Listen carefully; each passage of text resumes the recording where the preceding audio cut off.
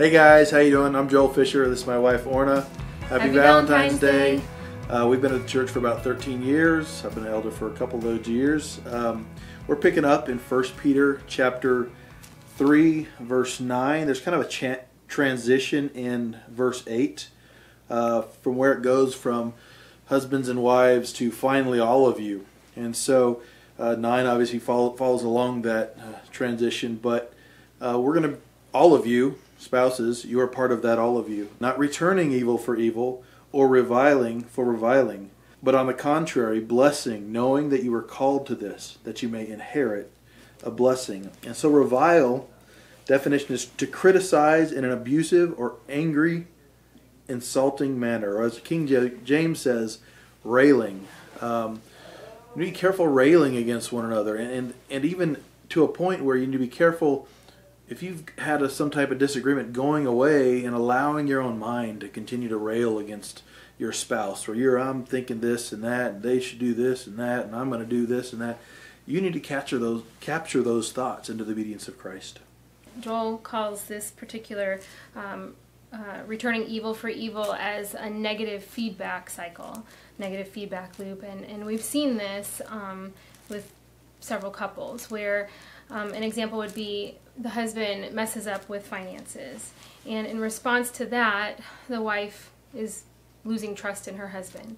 And in response to the wife losing trust, um, he starts to speak unkindly to her.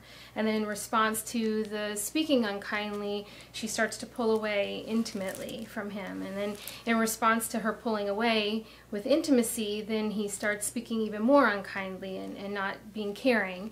And her response to that then is to disrespect him. She's lost all respect for him in response to you know not feeling trusted not feeling respected and then on top of that not having any intimacy before you know it this whole cycle leads him outside of the marriage. And so how do we break this cycle? It's got to be um, as followers of christ who are called to this as it says is that we've got to break the cycle.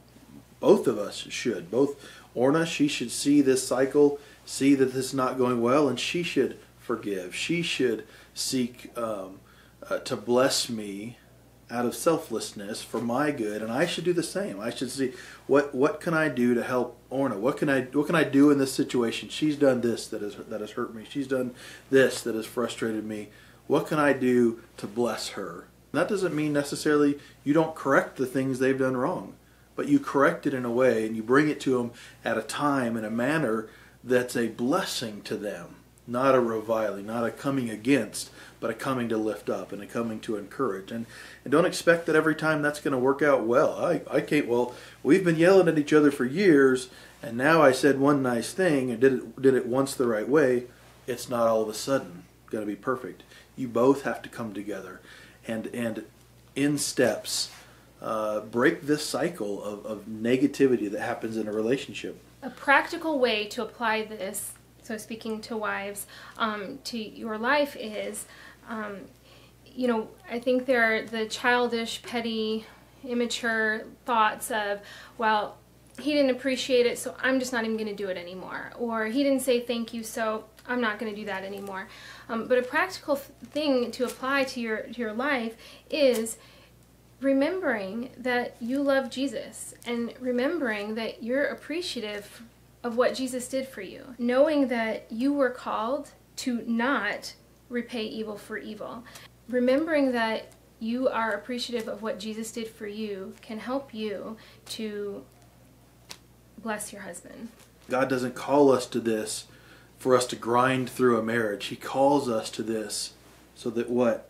So that you may inherit a blessing. This is for your good. This is for your benefit. So you have a wonderful marriage. So so that uh, when you go off to work, the people around see, man, this this guy, this girl, they have a great marriage. They they think highly. They say good things about their spouse. This, and it's it's a blessing that God has given us in our relationship. So do that. Don't revile one another. Don't give evil for evil, so that you may inherit a blessing. Happy Valentine's Day.